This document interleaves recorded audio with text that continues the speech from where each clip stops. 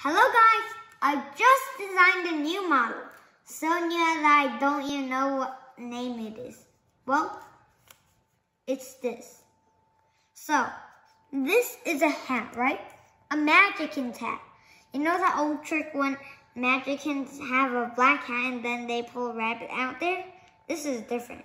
This is a magic hat, and since it's magic, it lets out a puff of air right here. And since this puff of air is also magical, it goes up, up, up, and after having enough pressure, it goes makes a big loud noise and bangs and has an explosion. So, magic hat, gas, explosion.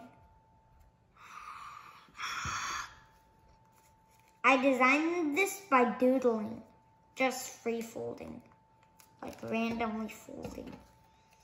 Finally came up to a decision. Or can also be a stick. I don't know what sticks. Oh yeah, and if you fold three of them, you can make another one like this, another one like this, and tie rubber band and slingshot. Just kidding, it's made out of paper. It's bending. Okay, bye-bye.